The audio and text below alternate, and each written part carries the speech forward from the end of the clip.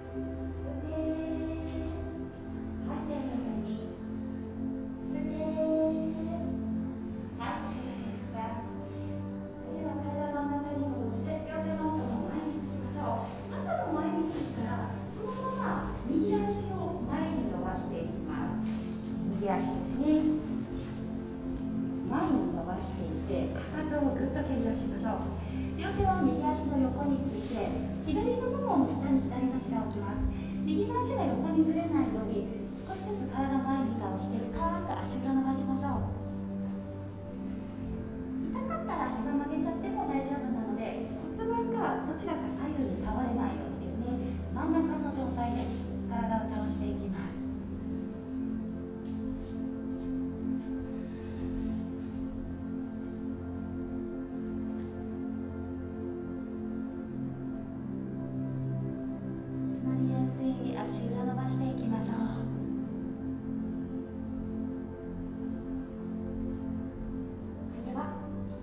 足の裏側マットに下ろしたら両手をしっかりとついて右足後ろ向けてプランクに入りますここから肘を曲げて次は胸で顎を吸っておへそから伸びましょうもう一度足の甲でマットをして斜め上を見て小腹吐き出しますダウンドッグに入っていきましょうダウンドッグに入ったら吸って左足を持ち上げて吐き出して手と手の間。膝を一度手と手の間に入れます。右の足の甲を寝かせたら両手を横に置いて胸からぐーっと持ち上げていきましょう。斜め上を見てまずは股関節おへそ周りを伸ばします。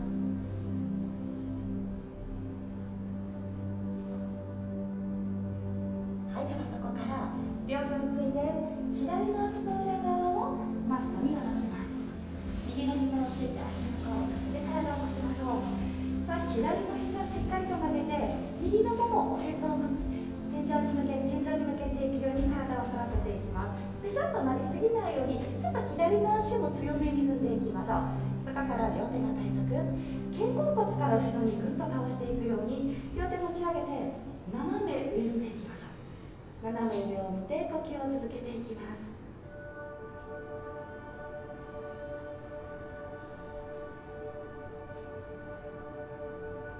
力は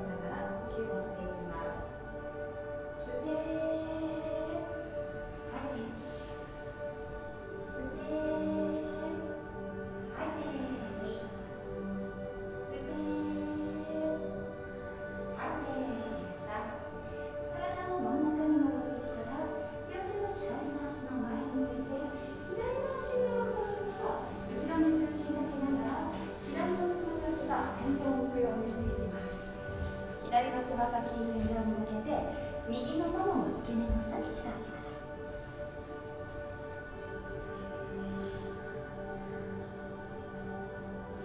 う。イメージでは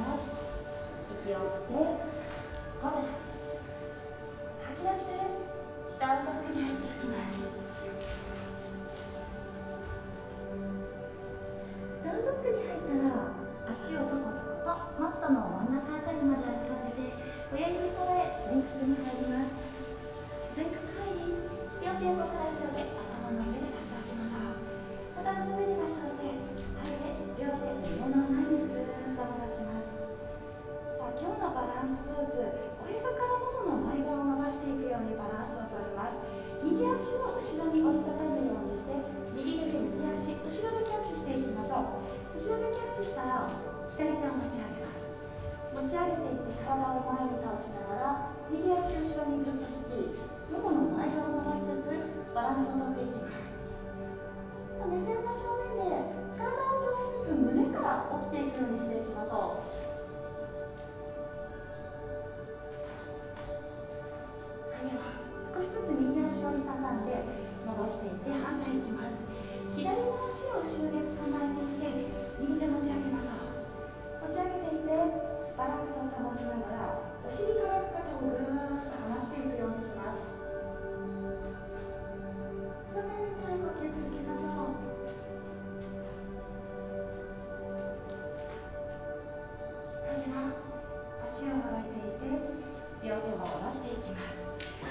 今日はご覧になっていただきありがとうございます。ノアチャンネルの登録ぜひよろしくお願いします。